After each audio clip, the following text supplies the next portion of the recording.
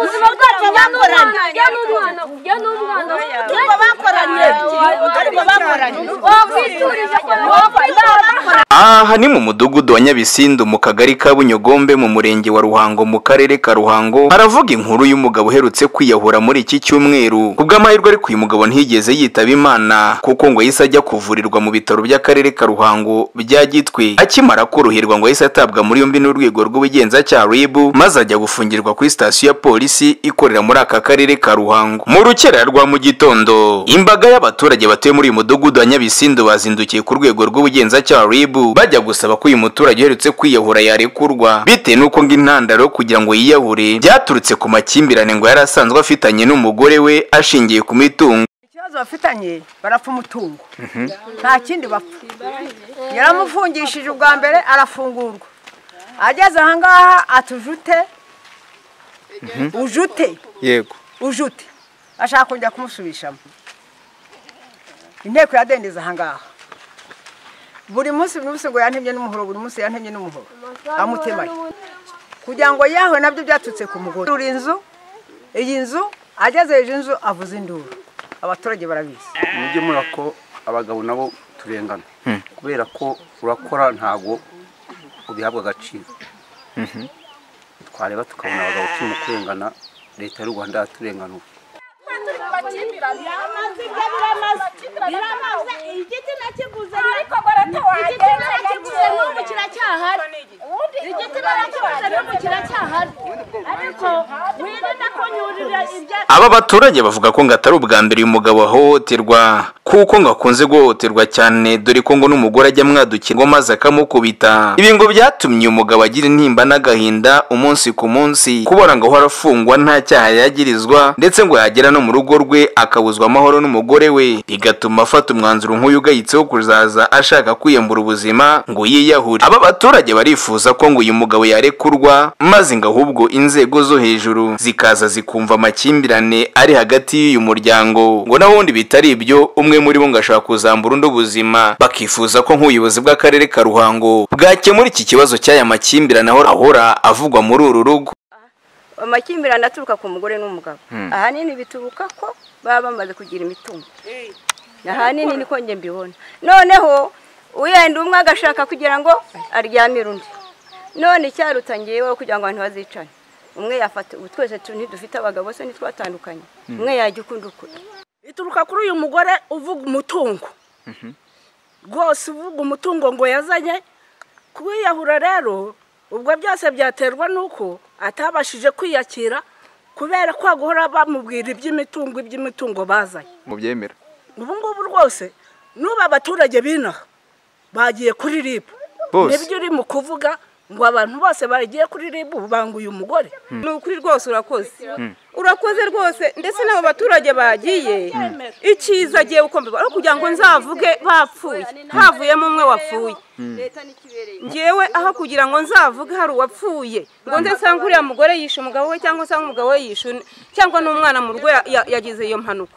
Kuko iteka ryabo ni intambara. Icyiza ngewe icyiza ni ukubatandukanya kuko ubuzima burahenda. Aho ishakiye renata we ahakana yivuye inyuma ko ngo atajya ahohotera umugabo we. Ahubwo umugabo we ni we ukunze kumuhohotera maze ngo akanywa agasinda. Ariko ngo yataha mu masaha nimugoroba maze ngo agakubitwa kakahava. Ariyo mpamvu ngo akunze kwitabaza inzego z'ubuyobozi ngo zize gufata umugabo we bitewe n'uko ngo umugabo bashakanye amuhoza ku nkeke. Bimaze iminsi biriho guhera mu mwaka w'ibihumbi bibiri n'umunani ni ho byakomeje gukara. N'abayobozi barabizi. N'urugo nirukankiyemo aransangayo akahantera. Bose ko bavuga ko mbaho muhohotera. Nkete mudugudu yakoze. Ko hari abaturage. Bareba muri abo baturage bagiyemo ko hatarimo abasinye. Ubwo yahise afata imyenda yanjye arayifata. Afata n'icupa rya roketi roketi ni murumuna we yimwamburiye hariya na mudugudu yari ahari.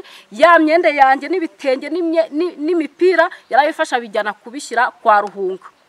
Bahise bayimwambura. Noneho ubwo icyo gihe bwa mbere nahungiye kuri runo rugo.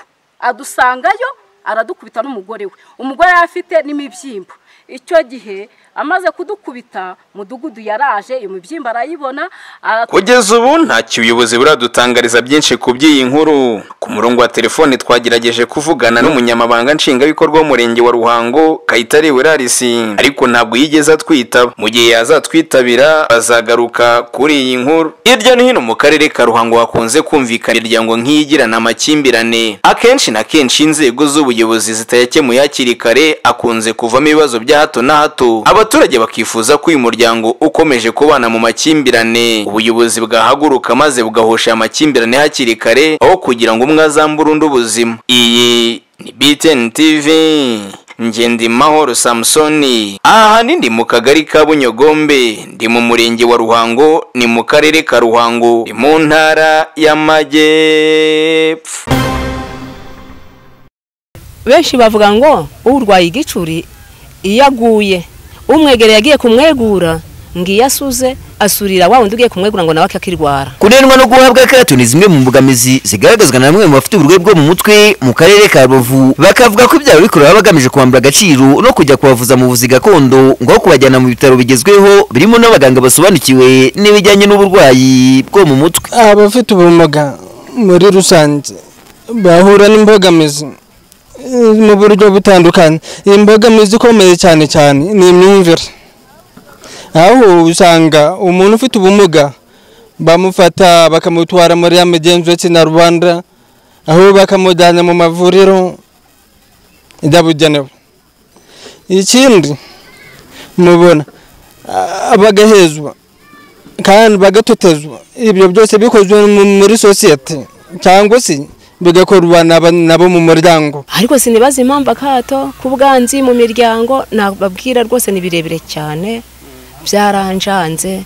Uretse kwihagararaho iyo ngeze mu rusengero mbyinira imana ngabereka ko ibyo bavuga byose ntacyo bimbwije gusa ndajambo ngira mu mudugudu ndajambo ngira mu kagari ubwo ngeze mu nama ngaba mfite nk'akabazo nabaza ntabwo byashoboka. Niyo baryicyakiriye ndagisubizo ati buriya ni wa wundi warwaye mu mutwe. Bakomeza basaba leta y'u rwanda ko ibafasha hagakorwa ubukangurambaga bwinshi bugamije gusobanurira abaturage uko bajya bita kandi bakirinda akato no kunena abafite uburwayi bwo mu mutwe nk'uko bigarukwaho na mugabo bobo emmanuel ufite ubumuga bwo kutumva ariko akavuga. Icyo twebwe twasaba leta icyo yadukorera ni ukurushaho gukabura ubukangurambaga bugamije gusobanurira abantu ubumuga bwo mu mutwe uburwayi bwo mu mutwe ni iki?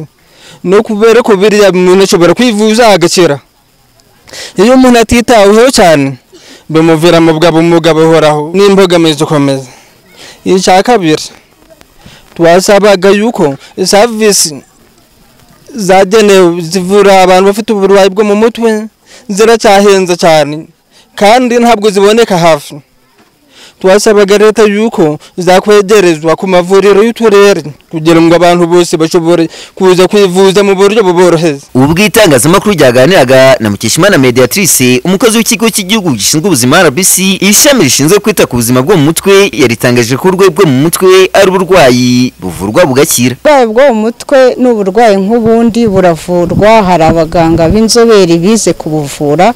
Iyo umuntu agize amahirwe yo kumenya ibimenyetso byabwo akagana inzego z'ubuvuzi zimuri hafi yaba ku kigo nderabuzima ku bitaro ndetse n'abajyanama b'ubuzima bagenda bamuha ubufasha bitewe n'urwego yagiyeho. Icyo dusaba rero buri wese ni ukusobanukirwa neza n'ibimenyetso hanyuma ugize ibyo bimenyetso ubigaragaje akihutishwa kugeza kwa muganga agafashwa na ba baganga b'inzobere navuze bahari. Nanone kandi itangazamakuru riganira na murindwa puresipiri umuyobozi w'akarere ka rubavu yarisuje muri aya magambo agira ati kunena eh, umuntu kubera ko yagize uburwayi bwo mu mutwe mu gihe runaka ntabwo ari byo ndetse n'ukiburwaye nawe tugomba kumuvura agakira akajya mu mubare w'abantu bafasha ba- mu iterambere ry'igihugu kandi nawe akabaho yishimye kuko ni uburenganzira bwe nk'ikiremwamuntu. Nyuma y'aho bigaragaye ko abafite uburwayi bwo mu mutwe bahohoterwa bikabaviramo kwandura virusi itera sida ku bufatanye n'umuryango UPHRS n'ikigo cy'igihugu gishinzwe ubuzima RBC ishami rishinzwe kwita ku burwayi bwo mu mutwe hateguwe ubukangurambaga bumaze iminsi bukorerwa mu karere ka Rubavu bugamije kwita ku buzima bwo mu mutwe no kwirinda virusi itera sida. Jacques Twishime iyi ni BTN TV mu karere ka Rubavu. Ni nyuma y'inkuru BTN TV twabagejejeho ya bamwe mu baturage batuye mu mujyi wa Kigali ho mu karere ka Nyarugenge mu murenge wa Muhima mu kagari ka Kabeza batabazaga bavuga ko babangamiwe n'ikibanza kiri umukingo muremure ngo ukomeje kugwamo abatari bake nk'uko babidutangarizaga. Kuvuga ngo urareba ahangaha urareba uyu ni umuhanda wa kaburimbo umanuka ujya ari hepfo poroviya nyabugogo.